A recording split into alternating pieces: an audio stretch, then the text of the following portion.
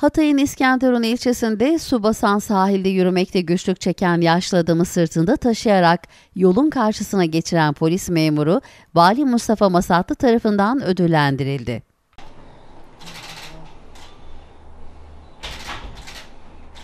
Ee, Polis memuru e, Hasan arkadaşımız e, diğer polislerimizin de her zaman aslında sergilemiş olduğu örnek davranışlardan bir tanesini sergiledi.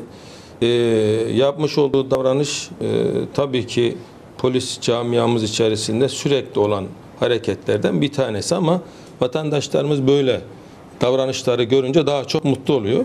Ben kendisine çok teşekkür ediyorum. Çok güzel bir davranış sergilemiş. Ama e, bu sadece bu arkadaşlarımızın gülen yüzü aslında bu buna benzer pek çok davranışı bizler görüyoruz ama onlar sergiliyorlar. Ee, Ben dün e, görevim ve vazifemi yaptım. E, her polis arkadaşımın yapabilecek, yapacak olduğu bir davranış.